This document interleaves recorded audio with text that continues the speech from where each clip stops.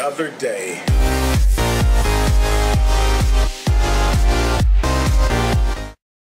Hallo YouTuber und recht herzlich willkommen bei eurem Schnacker und willkommen zurück zu einem weiteren Video und ab heute startet die Grand Theft Auto Online All Gotten Gains Woche vom 25. bis zum 31. März 2016.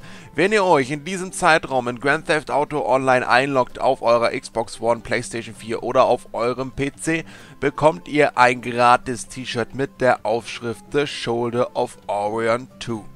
Außerdem bekommt ihr 25% Rabatt auf Fahrzeuge aus dem Garden Gains Update. Zum Beispiel mit am Start der T20, der Inventero, die Dinka, der Lampara Paradi und der Coil Brawler.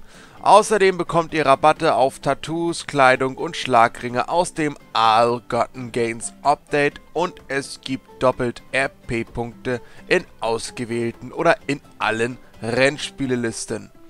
Soweit so gut, Freunde. Das waren erstmal die Informationen. Wie gesagt, das Update startet heute vom 25. März bis zum 31. März auf der Xbox One, PlayStation 4 und auf dem PC. Ich wünsche euch noch einen wunderschönen Karfreitag. Genießt die Feiertage, ein schönes verlängertes Wochenende.